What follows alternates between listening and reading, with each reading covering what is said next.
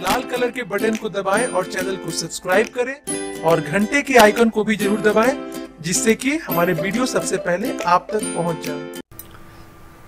आखिर पवन सिंह के साथ फ़िल्म को क्यों नकार दिया मनी भट्टाचार्य ने? जी हाँ दोस्तों, जाने क्या है पूरा मामला? जानने के लिए आप पूरा वीडियो देखें।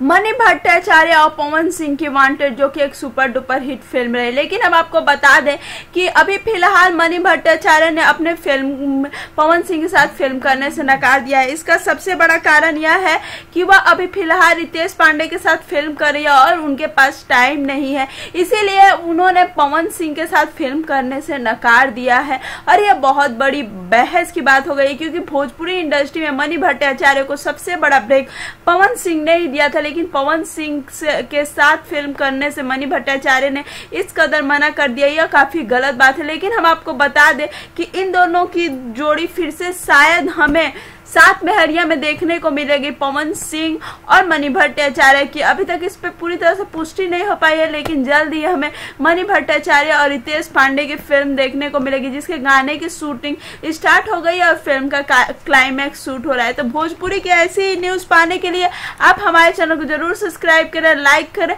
और बेल आइकन को ज़रूर क्लिक करें।